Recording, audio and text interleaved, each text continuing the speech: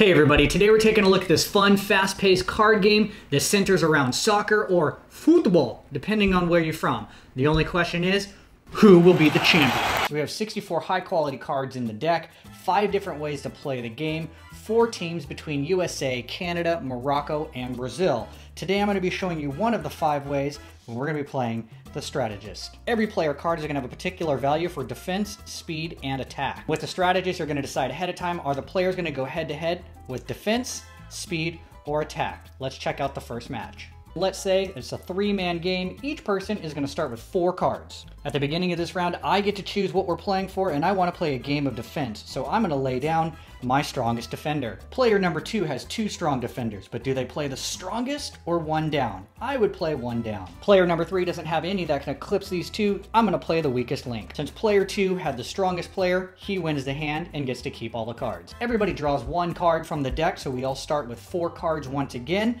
Player number two will start the game, and the only catch is that this time on the second round of play, he cannot start with defense. He has to choose a different action that wasn't used before, so it would be speed or attack. Let's talk about a transfer strategy.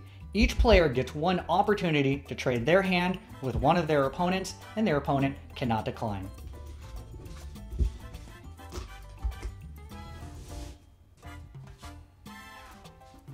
Let's talk about a substitution. Don't feel like you have a strong hand? Wish you could trade one of your cards in? Well, now you can.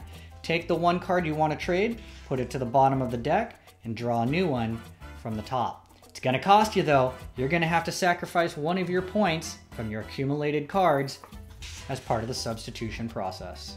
And with multiple ways to play, who will be the champion?